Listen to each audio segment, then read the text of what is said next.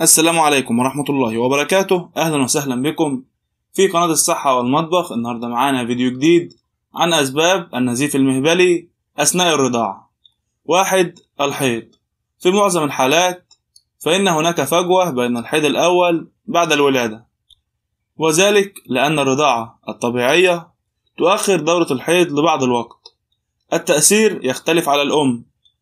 تحصل بعض الأمهات على الحيض الأول بعد الولادة ببضعة أسابيع أو عدة أشهر أو حتى سنوات. لا يمكن تحديد متوسط المدة التي تستغرقها الأم للحصول على الحيض الأول بعد الولادة.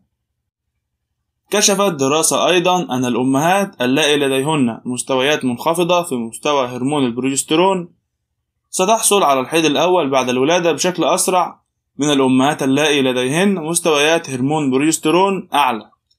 بعبارة أخرى من الطبيعي للأم أن تحيض على الرغم من أنها لا تزال ترضع.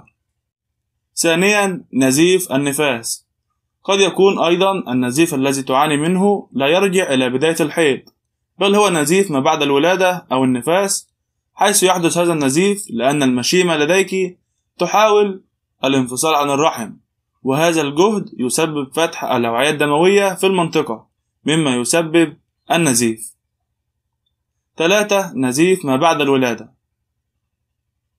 لكن في بعض الحالات يستغرق النزيف وقتا أطول من المعتاد.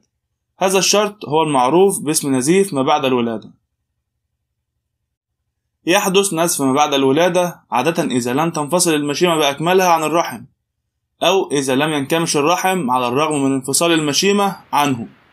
قد يحدث هذا النزيف حتى لو كان بالفعل بعد 12 أسبوع من الولادة. يجب عليك استشارة الطبيب على الفور إذا كان. أصبح النزيف أكثر سمكا فجأة حتى يستهلك أكثر من ضمادة واحدة للاحتفاظ بها لمدة ساعة واحدة. يصبح لون الدم أكثر إشراقا بعد أربع أيام من الولادة. أو إذا كان معدل ضربات القلب يزداد بسرعة وغير منتظم.